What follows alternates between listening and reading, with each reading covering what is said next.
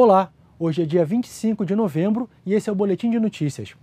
A Polícia Rodoviária Federal confirmou que a pista já foi liberada na rodovia BR-101, na altura de Mangaratiba.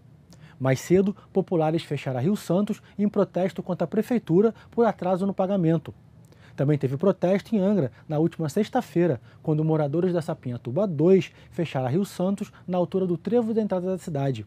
O ato foi motivado pela falta de energia na região. As duas vias da estrada foram bloqueadas.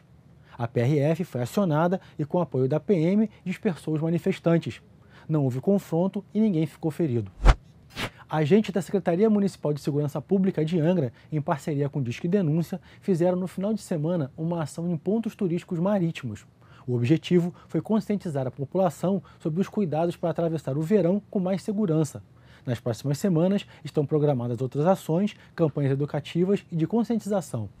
Atenção, produtores! Já estão abertas as inscrições para a seleção de projetos culturais do município de Angra dos Reis com recursos da Política Nacional Aldir Blanc de Fomento à Cultura. Cerca de 600 mil reais serão destinados a projetos de artes visuais, montagem e circulação de espetáculos inéditos. Os interessados podem se inscrever no site da Prefeitura até o dia 2 de dezembro. A divulgação definitiva dos projetos escolhidos está prevista para o dia 13 de dezembro.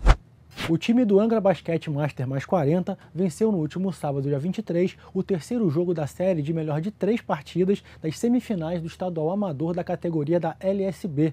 A vitória garantiu ao time a presença em uma final da competição pela quarta vez. Já o time masculino de futsal de Angra dos Reis está pelo segundo ano consecutivo em uma final da Copa Sul Fluminense.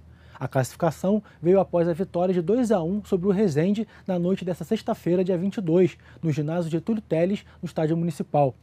A grande decisão da Copa Sul Fluminense de futsal ainda não tem data marcada pela organização, mas o time de Angra vai enfrentar o AFA Paracambi em jogo único. No mesmo dia, em jogo isolado, o Bonfim venceu o Nova Aliança por 5 a 3 na Copa Angra de Futebol. Foi a terceira vitória seguida em três jogos do Bonfim, o que garantiu com duas rodadas de antecedência a classificação da equipe para as quartas de final da competição.